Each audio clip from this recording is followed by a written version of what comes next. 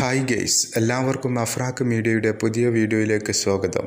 മമ്മൂട്ടി ജീവ എന്നിവരെ പ്രധാന കഥാപാത്രങ്ങളാക്കി മഹി വി രാഘവ് സംവിധാനം ചെയ്യുന്ന പുതിയ തെലുങ്ക് ചിത്രമാണ് യാത്ര ടു.